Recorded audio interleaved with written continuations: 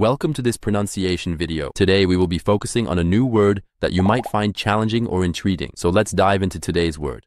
Divulgueriez, which means Divulgeries. French verb. Would divulge, to reveal or disclose information. Let's say it all together. Divulgueriez.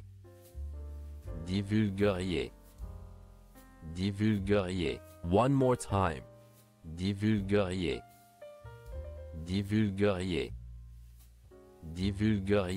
Thank you for joining us on this adventure in pronunciation. Remember, language is a journey, not a destination. Keep exploring, experimenting, and expanding your linguistic horizons. We'll see you next time.